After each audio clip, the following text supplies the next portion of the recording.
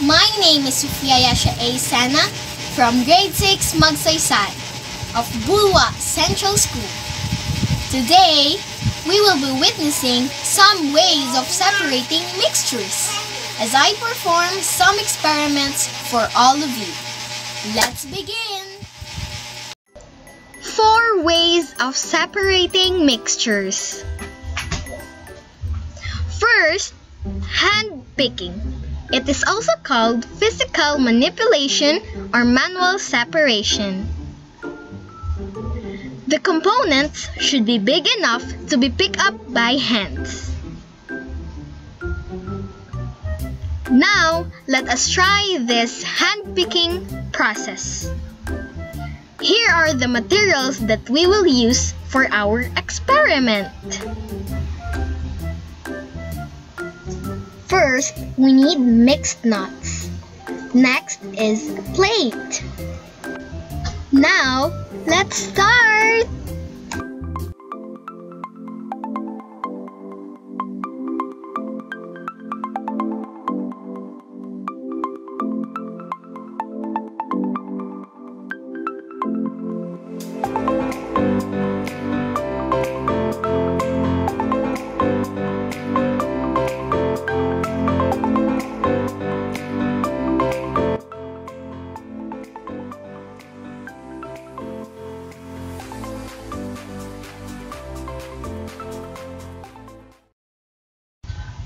Finally, we have separated the mixed nuts.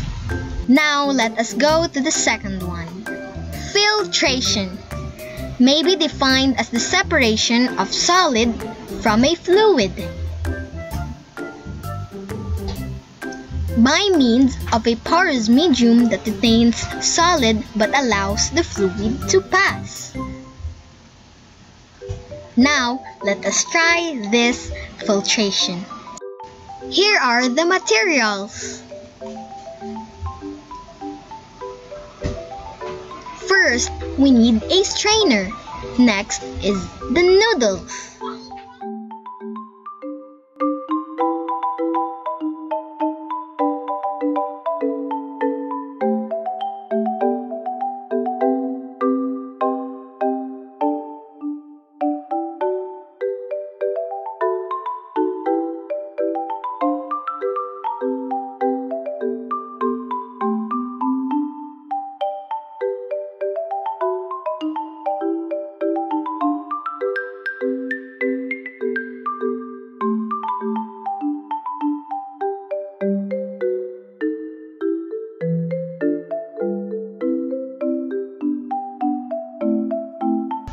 Now, we've separated the solid from the liquid. The third one is sieving or sifting. Is used to separate a dry mixture which contains substances of different sizes by passing through a sieve, a device containing tiny holes. This is the sieving process.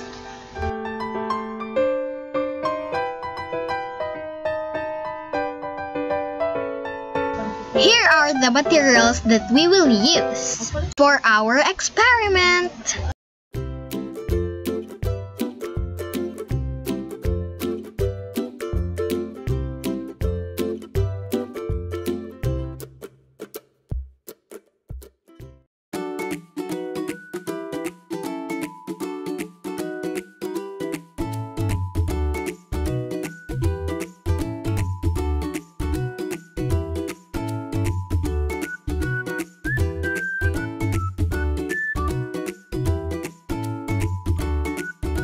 Let's start!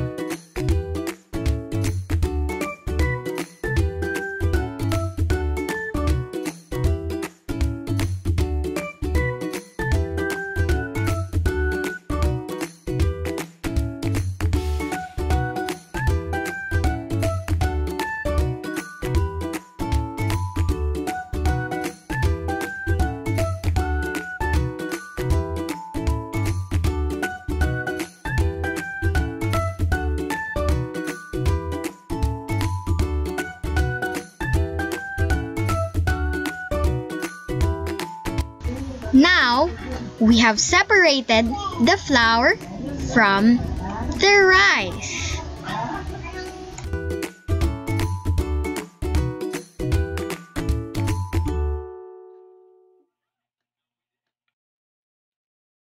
The fourth one, we have here the decantation. Decantation is a process to separate mixtures by removing liquid layer that is free precipitate. The purpose may be to obtain decant, liquid free from particulates, or to recover the precipitate. This is the decantation process.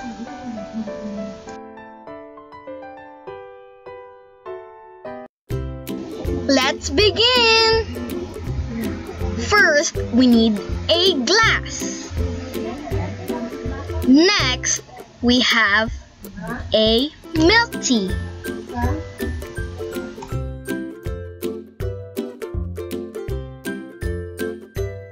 And of course, a straw.